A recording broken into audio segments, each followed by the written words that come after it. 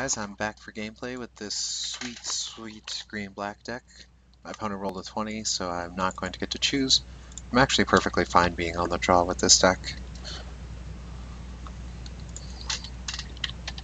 He's not saying anything, so I'm assuming he's on the play. Uh, I've lost a lot of card images from this new cards.xml file. I have Opulent Palace, Jungle Hollow, Rugged Highlands, so I have all the sources I need. I have a 4 drop here in Longshot Squad, a Morph, a Kin-Tree Invocation, and a Grim Contest. So I'm going to keep this. There are a lot of good draws that I can get. Notably something that like Disowned Ancestor or Archer's Parapet, but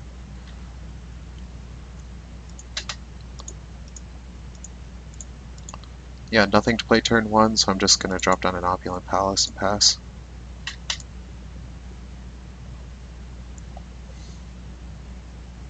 This is just a green-black land, but he doesn't know that. He's playing uh, a Jund deck, or sorry, Abzan deck, and he's also playing with Archer's Parapet. I would have liked to have a second copy of that.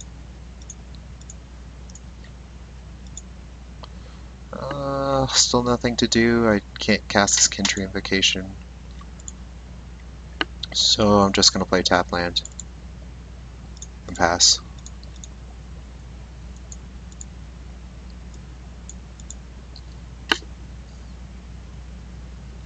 Still a lot of good draws I could have.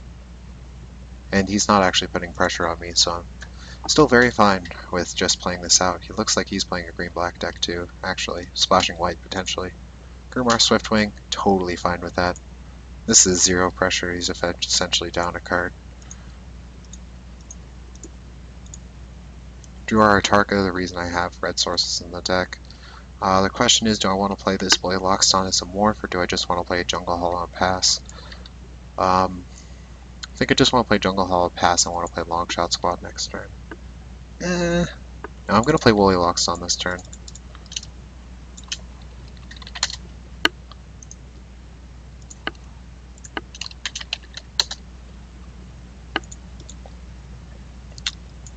There's a chance I draw an untapped land to play this Longshot Squad, and there's a chance I do want to just cast Kin-Tree or something. Though the chance is quite low. There's also a chance I want to cast Grim Contest to just kill the Swiftwing.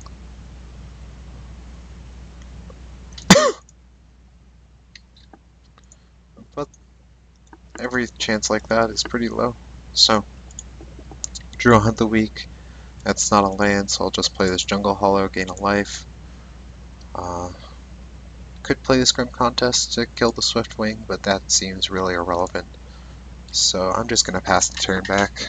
Also, this is an instant, so I don't have to decide now. No Siege Rhino, please.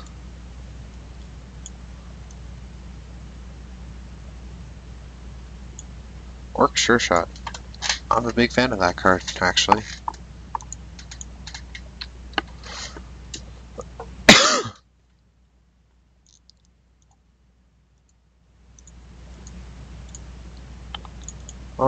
5 mana. At this point I could hunt the weak with the Swiftwing. I'm getting a 1-1 counter on my uh, on my Woolly Loxodon for potentially giving it reach later. I can Grim Contest with Swiftwing, or Grim Contest with Sure Shot.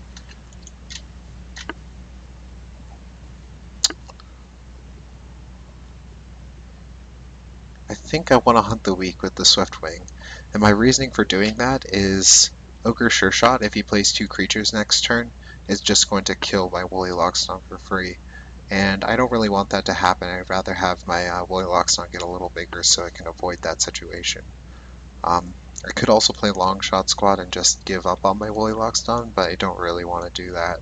So here we go. Um, yeah, Hunt the Weaking time.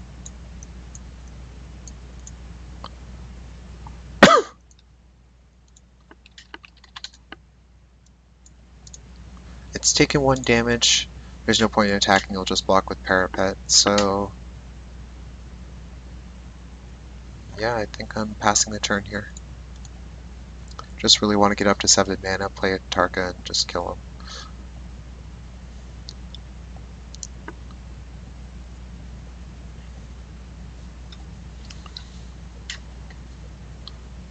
Armament Corps, sure.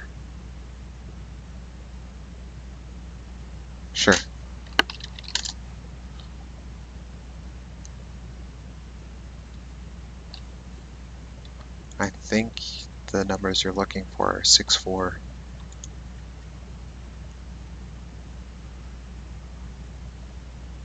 If I get another untapped land, I'll have a 6 7. Actually, I'll have a 7 8, which could even kill this thing through, uh, and live through uh, one of its activations, so that's pretty nice. Let's draw an untapped land. Yeah! Just gonna play it past the turn.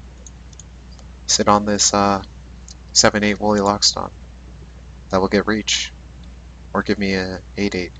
Either way, love it. It also is gonna start eating his creatures with Grim Contest. Ashen Cleric looks like a waste of a card. I love it. Sure. What?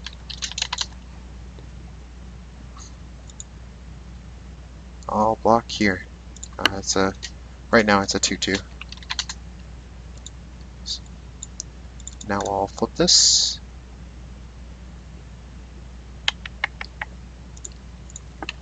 Six, seven.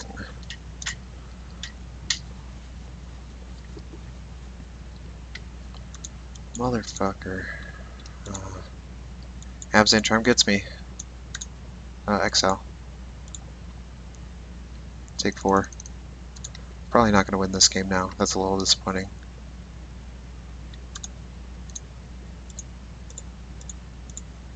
Rotting Mastodon. Talk about board stalls. If I had one more mana, I could and Rotting Mastodon, which would be sweet. But as of right now, Rotting Mastodon is quite acceptable.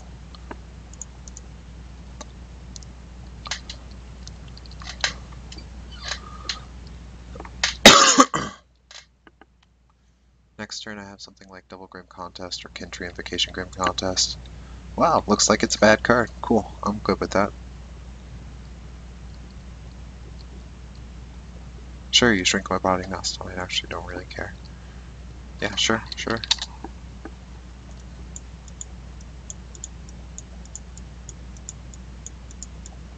If he shrinks it twice, that's kind of a problem, actually. Oh, that's also... Oh, I can't win now. There's no effing way. I have to take 7, 8, 9 if I want my best not to live, but it has to block the sure shot, so I can't win. Naturalize is kind of tempting because he has a, you know, Abzan Ascendancy. That's that's a real card, and he also has a banner. So maybe Naturalize comes in, or maybe Return to the Earth comes in. Ah, it's just way too expensive to play that. It does have the upside of killing flyers though, but I don't really, I'm not really worried about flyers right now. Oh, that was just an unfortunate series of plays. The Abzan Charm was really what got me. Gonna take out this Awaken the Bear, I'm definitely the slower deck. And I'll play first, thank you.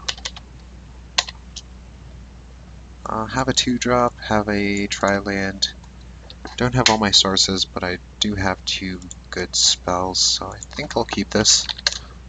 Sultai Emissary is defensive enough that I should be able to live through his uh, aggressive shenanigans.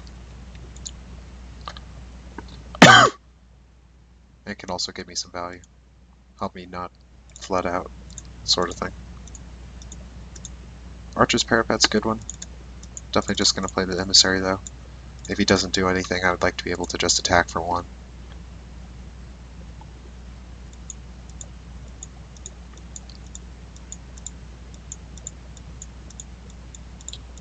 Odds are I'll be doing that anyway. Tormenting Voice, cool. As I said, not doing anything.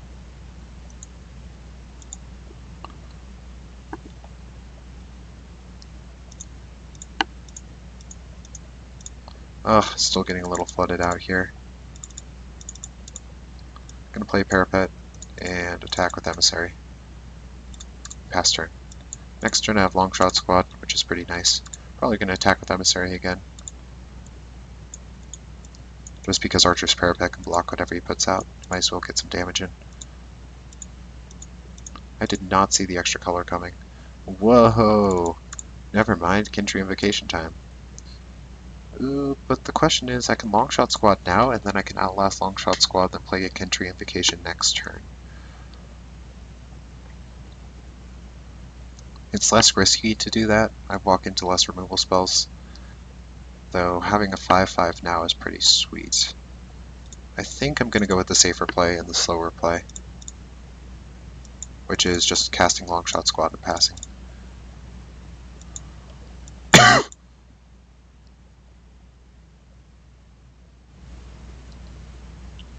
Get maximum value out of my cards, especially since I've been drawing a lot of lands. No Siege Rhino? Okay, I'm fine with that.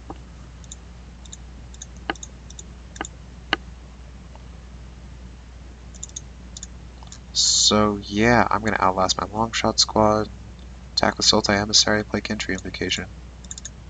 First attack with the Sultai Emissary. Cool, I'm good with that. Manifest the top card of my library.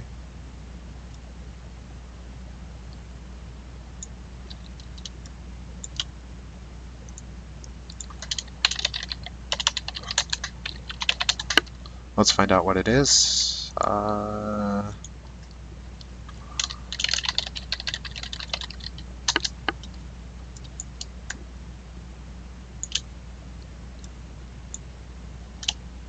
it's a swamp. Okay, that's fine.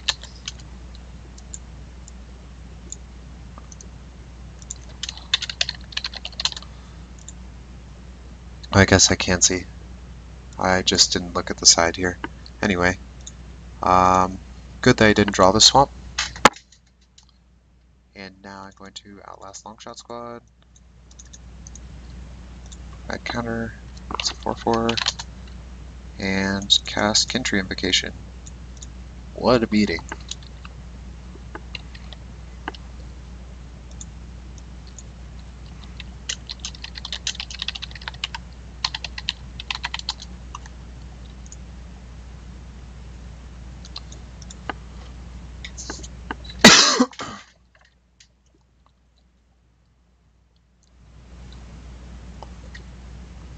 Swampalicious can trade with uh, Timely Hordemate here if he wants to come in. I'm fine if he wants to use a spell to kill my swamp, so that's that's good. Abzan Ascendancy is fucking bullshit. I'm glad he only has one creature out for it. But it's still insane that he got it. Again. It's really annoying, actually. Uh, what am I walking into here? There's actually not really anything I can think of that costs a mountain in a swamp as an instant that will blow me out and kill my Spirit Warrior and keep his tiny Hordemate alive. So I'm going to attack with the Spirit Warrior if he has something good for him because I'll still have a Longshot squad that's outlasting.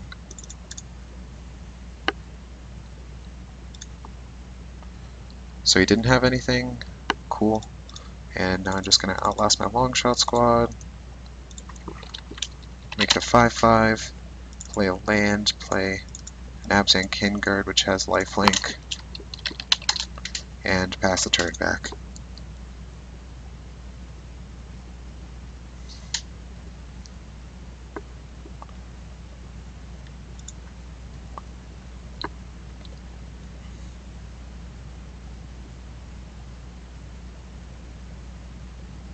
Interesting mana tap here, Alabaster Kirin, that's fine. Kin-Tree? Sure, you get a 3-3. Seems like my Kin-Tree was better. He does have a double block now that's pretty sweet, which is Alabaster Kirin and Kin-Tree on uh, my 5-5. But that double block kind of actually makes me think I can attack with Kinguard and Longshot Squad as well. Ugh, even with this manifested land, I'm getting flooded really hard. So if I attack with everything, he can double block here, here on the long shot squad. Spirit Warrior gets through, he can trade with Timely Hordemate if he so chooses and get a 1-1 Spirit out of the deal. Um, seems pretty good for me, it'll clear off his 3-3. Uh, but I'm actually not really comfortable with this trade. I think I can sit back and be fine and outlast my long shot squad. The 6-6 is infinitely better than a 5-5 when he has nothing but 3 toughness creatures on the board.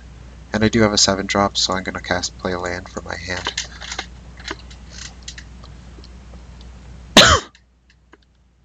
I suppose I already had a mana for it, but I don't have the red yet, which is kind of a problem. I don't know what sort of color shenanigans he's doing. That's a lot of basics of a lot of different colors. That's very greedy. Raider spoils, that's cool. Uh, that's a warrior, that's pretty sweet.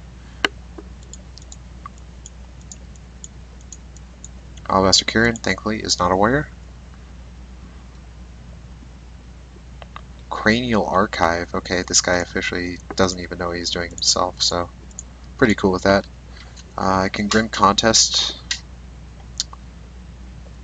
I can outlast my Longshot Squad and Grim Contest my Longshot Squad on the Timely Horde Mate or the Alabaster Kirin in response to a double block on my Spirit Warrior. But he's probably going to single block Spirit Warrior with Timely Horde Mate.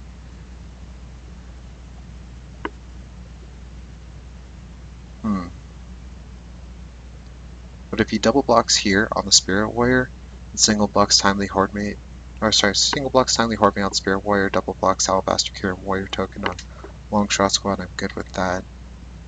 Yeah, my attacks are just really good this turn, and I could potentially blow them out with Grim. Grim Contest, so let's go swinging.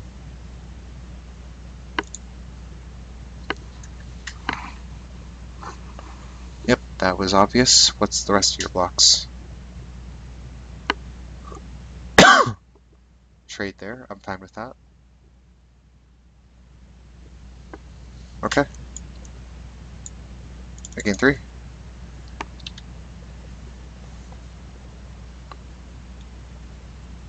He gets two spirits. Totally cool with that.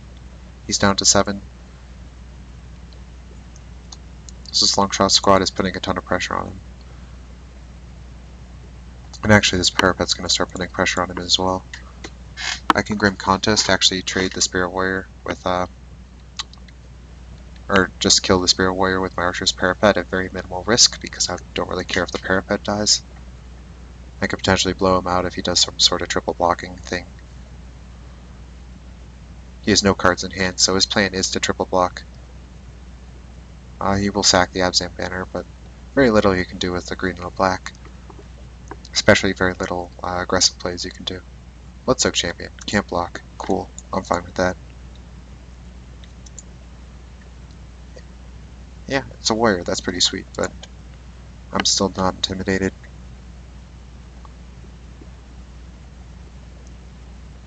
Is he going to attack? I'd understand attacking maybe with one spirit.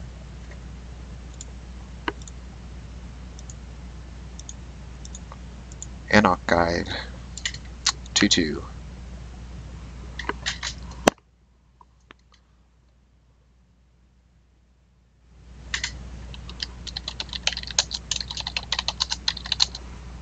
I forgot to use my parapet. That's, that's definitely a mistake on my part.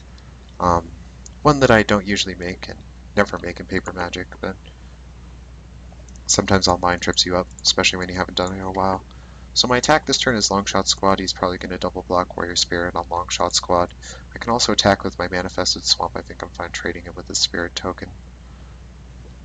And I'll just blow him out by playing Grim Contest, using Archer's Parapet to kill the Warrior, just kill his Spirit for free. And basically wipe his board. He ends up with a 2-1 flyer and a Bloodsoak champion.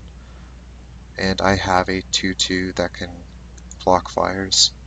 Yeah. I'm fine attacking here. Uh, what if he wants to block warrior on manifested creature? I still blow him out because I kill the warrior for free regardless of what he does with it.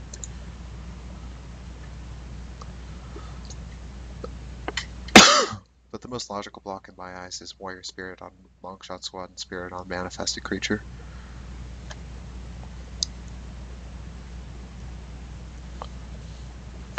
Double Spirit on Longshot Squad? How does that make sense?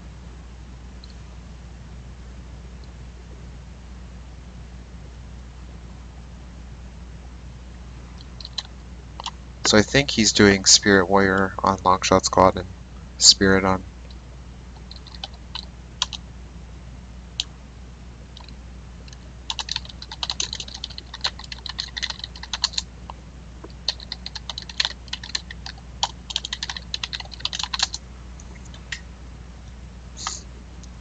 So now I Grim Contest, he has no cards in hand, this is just going to end the game.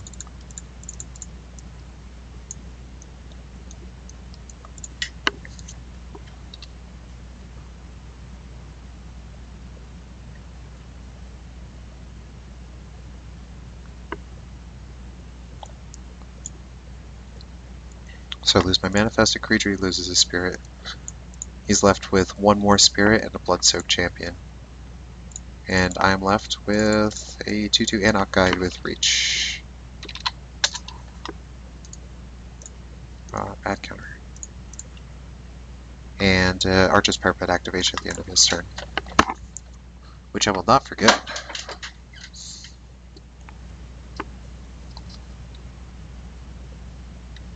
Good old Cranial Archive.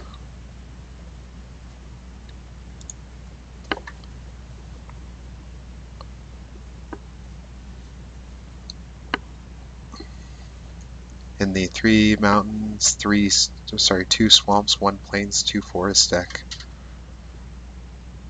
Is that all five colors? One, two. That's four colors. He's missing blue.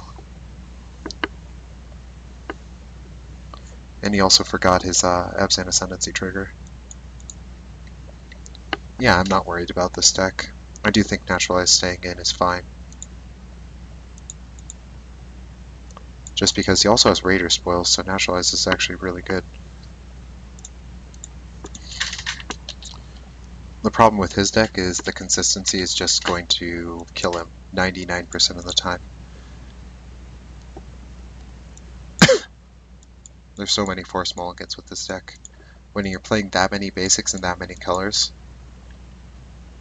like you have to get lucky to even be able to play Magic. I have a turn 3 Tuskguard Captain, Kin-Tree Invocation Grim Contest work well with a lot of draws. Uh, you cost you to dash.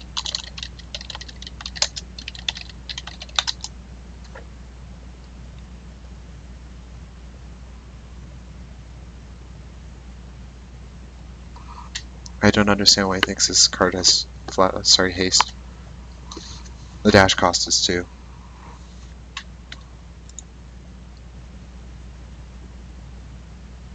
then it wouldn't have haste anyway.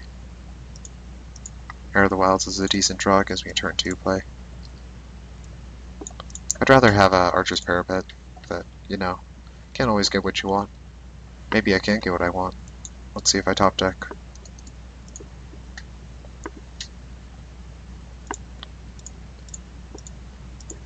Nope, I didn't, but still gonna find the problem with Mardu Shadowspear is it's still a 1 mana 1 1 and it will just die to a 2-2. If he really wants to use a spell, he's still going to trade, so I'll block. Feat of Resistance, good for you. I actually really don't care that he's using a feat on the Shadowspear. It's a one for one, and the Shadowspear is still just going to brick into this Tuskguard Captain. Now he's down to three cards in hand.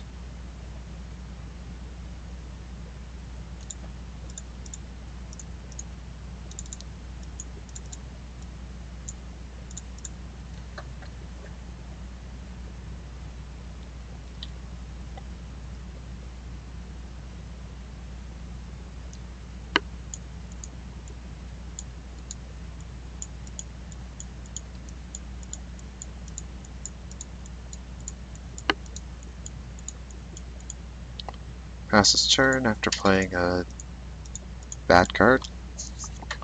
I can outlast Tuskguard Captain and play Grim Contest when he goes into... Or I can just Grim Contest now. Regardless, I think I'm outlasting Tuskguard Captain. I think I can hold out on Kin-Tree Invocation and I can just Grim Contest. Uh, the question is, do I want to do it before he attacks or at the end of his turn?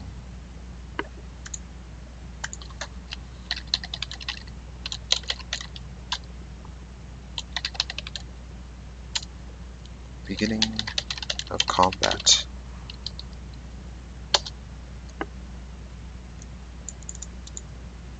Grim contest. Here and here. Harsh sustenance. Targeting me. So I lose three. I don't understand why you do that instead of on the captain. But okay. And now I lose one more.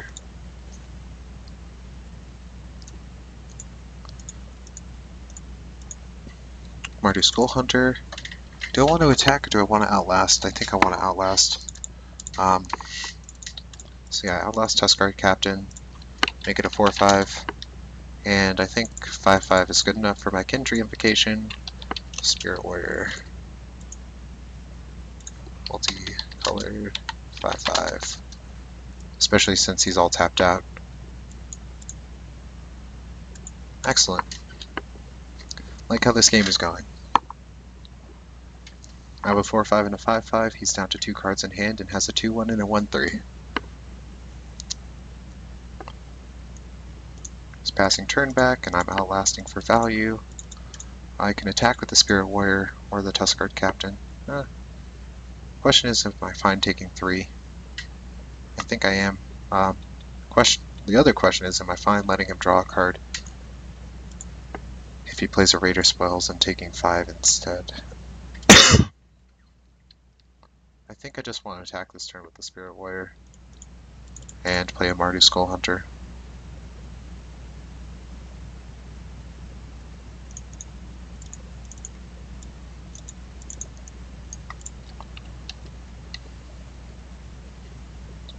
Loses a Rush of Battle, that's good for me. Uh, but it means the last card in his hand is actually really, really good, so I'm going to keep the Tuskguard Captain back on blocking duty.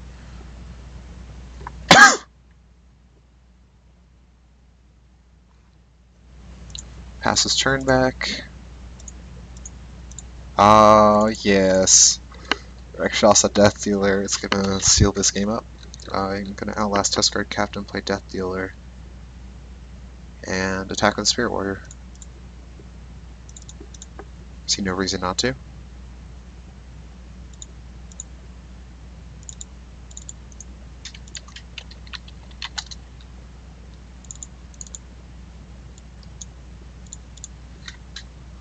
That's game. There's no way. Especially with cards like Cranial Archive clogging his deck with worthless worthless stuff. Whisper of the Wilds, pretty good. So I think I just start swinging in with everything. If you want to block Mardu Skull Hunter with a Ration Cleric, that's fine. Bloodsoaked Champion can't block, so he would take 2, 4, 6, 11, 12, 13, 14, 15, 16. Ugh. Really? 6? Oh, okay. Yeah. He left. So there you go. Um, this deck is sweet, and it's one of my favorite decks to play in uh, Fate Reforged and Khans. Um, I did talk quite a bit about this deck, so I'm glad that it performs the way I expected it to. Kindred Invocation, uh, a Kindred Invocation, and got the uh, Archer's Parapet Disowned Ancestor. Um, Never got to see the Abzan Beastmaster in action, but there were actually a lot of boards where it just would have been very, very, very good. And Whisper of the Wild's very good. Sultai Emissary good in these defensive sort of decks. Atarka was much as I suspected, and if you guys saw from this match, um, this it was a seven drop. It just stayed in my hand for vast majority of the game, and I really couldn't cast it, especially, well, and it was just putting me a card down for the vast majority of the game, so. I'm not a fan of 7 drops, I'm not a fan of Atarka, especially when it dies to Breath of Dragonfire and other common removal spells. Um, sure, if it gets an attack in, that that's pretty game ending, but going a card down for the vast majority of the game for playing this is just not worth it in my opinion. And if I went back and changed the deck, I would be playing uh, this Abomination of Gudul off of my blue splash lands. And the fact that it's a morph just makes it a very easy splash. Yeah, not a fan of Atarka. Uh, cards I've gained respect for. Loved Ainok Guide. It actually might have even like the fact that it has plus one plus one counter makes it pretty sweet. Uh, you saw in that game I was able to make it a 2-2 reach for 2, which is great. Um, Abzan Kin-Guard is living up to the name of Abzan Guide's little brother. May even be better just because it's one color. Uh, Sultai Emissary did a lot of work there. I would have been even more flooded than I was in that last game uh, if I didn't just get a land off the top with Sultai Emissary. And also, the 2-2 body trades really well. So, yeah, big fan of Sultai Emissary, especially in defensive decks. Rakshasa Deathdealer everybody knows about. Grim Contest. Yes. Yes, yes, yes. I've been proven right. Grim Contest is a wonderful, wonderful card, and the colors, the color synergy that you just get off of this card is superb. It is phenomenal. In fact, it may have even exceeded my expectations in just how good it is. Uh, three mana instant speed fight cards are very, very hard to come by. In fact, I don't can't recall any off the top of my head, and it just works so well with with all the high toughness creatures and all these sorts of toughness matters cards in Abzan Beastmaster, Kin-Tree Invocation. Grim Contest just work, fits right into the deck and is very solid removal. I may even increase this to a 3.5. The card is just phenomenal. Um, it is very color committing though, so have something to say for that.